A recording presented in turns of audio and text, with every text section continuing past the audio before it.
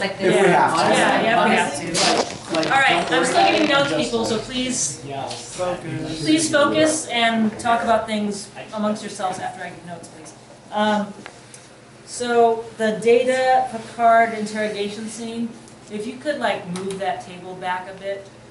I know that's something new, but because we're, we're in a new space and it's much skinnier, if one of you guys should just drag that chair like, or drag the table back. You mean the scene where my chair's leaning towards them? Yeah, yeah, And again, we're gonna hold we'll have more room, Yeah. but, um, I well, mean, not we're still gonna necessarily. have- That'll be right.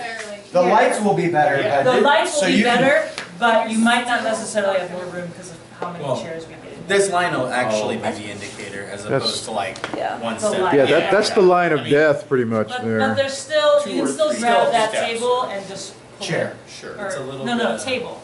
Because in that scene, it was, it was like Picard was standing here, Data was sitting right there, Oh, oh. and the table was really in the way. If you just push that table back. The table, oh, the only reason You the can even table's go- there, the only reason the table's there is to Signify. signify that's Data's quarters. So you can push that back.